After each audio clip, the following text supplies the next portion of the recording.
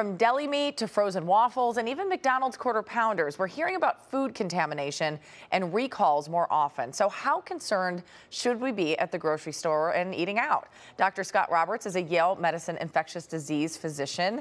Thank you so much for being here.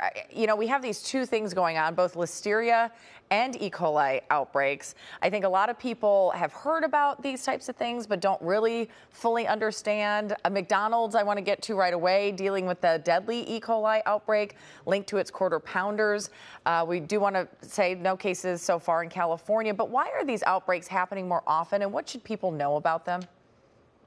It certainly seems more frequent nowadays. I think food is more processed now and consumers want it ready to eat. So there's a lot more steps in the process where contamination can occur. The other thing is we're testing more and we have better testing mechanisms. So it's possible this is leading to some of the increased detection as well. You know, I think it's interesting. Last night, my stepson asked me, well, what is E. coli? And my husband and I both started talking about thinking it was in the beef. Then I read an article this morning that it could have been the onions that were contaminated. Uh, something that you might not think about. I think with the listeria outbreak, too, um, you think of deli meats and those types of things. But then yesterday, you have the waffle recall. Um, can you talk about where these are being found and the symptoms of contamination um, and what people should do if they think they're infected? Yeah, you know, these are all bacteria that really love to contaminate food.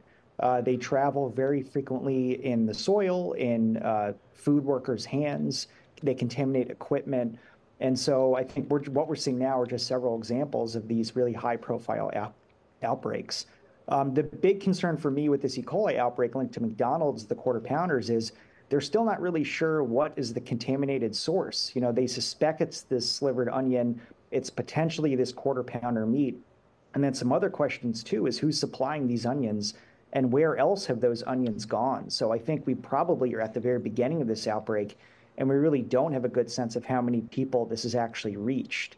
Um, symptoms for really both Listeria and E. coli can include uh, gastrointestinal symptoms such as stomach cramps, diarrhea, dehydration. Uh, most people do well, but for really both of these diseases, the concern that I have is the at the extremes of age, so very young and very mm. old, and then those who are immunocompromised, and especially for listeria pregnant women. And this is one of the main reasons why we recommend pregnant women don't ingest deli meats or soft cheeses because of this listeria potential contamination. Oh, that's a really good point. Um, I think the, the person who passed away from the E. coli outbreak was an elderly person, so uh, good to point out the ages there too. Can you talk a little bit about though? I was I was fascinated in reading how hard it is uh, when these uh, to uh, determine it's an outbreak and and where the outbreak is is originated from. Yeah, it's really challenging. And a lot of times you have to look at who's being infected uh, once we get alerted to enough patients who are presenting with the same thing, and then track down where they ate and what foods they ate. And these are very complex. You know, I just checked the CDC website uh, for the recall of these frozen waffles. And there's many, many types of frozen waffles that this manufacturer produces ah. that reach Walmart, Target, Stop and Shop, and many other stores really all over the United States.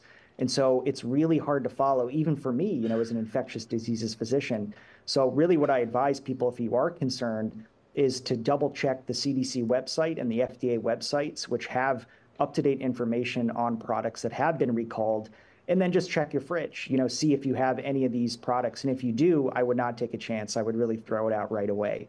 Um, and if you have ingested it, what I, again, most people do really well, but if you are vulnerable, certainly keep an eye on your symptoms and if anything develops out of the ordinary, like fever, muscles ache, muscle aches, gastrointestinal symptoms, talk to your doctor right away.